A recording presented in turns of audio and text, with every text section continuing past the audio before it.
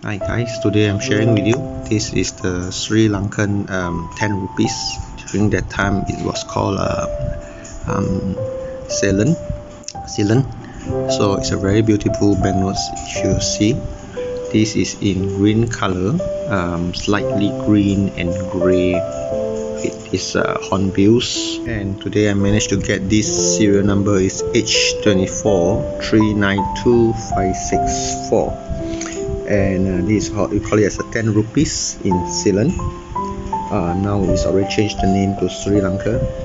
The, these are issued by the Central Bank of Ceylon. So it was issued from uh, 1972 to 1979 so if you can see here um, the size of it is 128 with 65 mm and it's a rectangular. And it's also stated here as you can see here 1979 uh, March 26 so it's a very beautiful banknotes with a lot of um, wordings.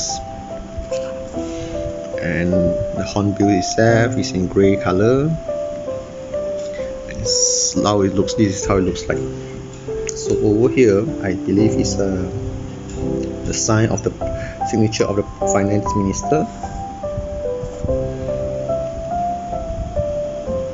as I as I check, um, the finance minister name is called Ronnie de Mel,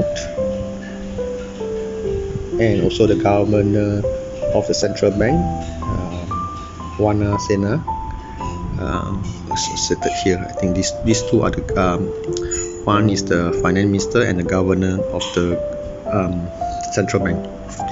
Let's have a look at the reverse side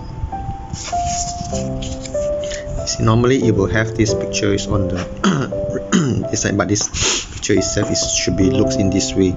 So it's stated here is a orchid.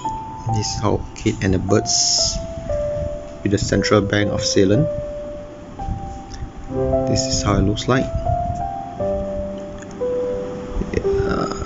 So I think this is a very beautiful banknotes although this piece is not an UNC that I managed to get it's a bit rare and it's worth to collect if you come across. So if I manage to get other other other versions of Ceylon uh, Sri Lanka uh, currency I will share it with you in my coming days. As of now this is how it looks like. It's, it's a very beautiful in green. I hope I can get one in UNC um, as of not now I do not manage to get yet. So this is how it looks like um, till then I'll share more in my coming days to you if I come across any other currency. Uh, if you have any comments on these banknotes you may let me know. I don't see there's any security threads as well on these banknotes beside the uh, security threads on this line itself. The, you can see here there's one line here under the date. Other than that there's no uh, I don't see any watermark or any securities on these banknotes so till then I'll share more in my coming days. If you like my video do click like and subscribe. Um, till then I thank you very much for watching my videos and have a nice day